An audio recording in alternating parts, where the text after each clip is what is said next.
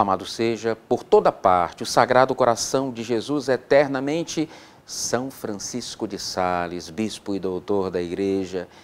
Mais uma semana, meu irmão, minha irmã, palavra de Deus proclamada juntamente para todos nós refletirmos essa mensagem divina. Hoje a mensagem está no livro de São Marcos. Os discípulos anunciam que a mãe de Jesus e seus irmãos estão ali e querem falar com ele.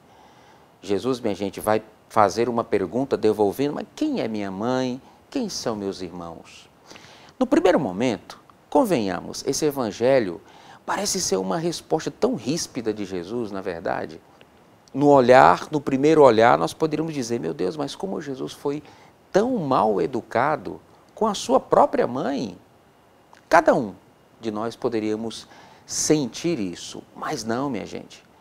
Jesus eleva ainda mais, porque na outra parte, no segundo momento do Evangelho, Jesus deixa claro o carinho, a grandeza que tem Maria na sua vida e em nossa vida.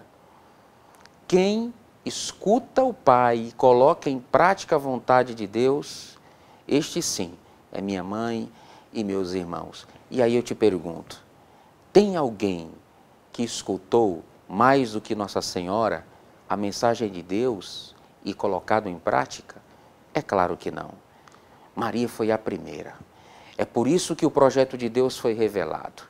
Portanto, minha gente, além de ser mãe, ela é discípula, ela é a missionária, ela é aquela que abraça o seu filho com todo amor e carinho.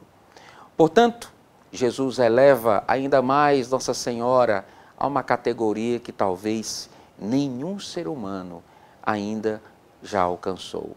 Por isso que o nosso olhar para Maria tem que ser assim, com muito carinho, com muito respeito, toda a nossa vênia, toda a nossa genuflexão. Que Nossa Senhora, portanto, interceda por todos nós. Em nome do Pai, do Filho, do Espírito Santo. Amém.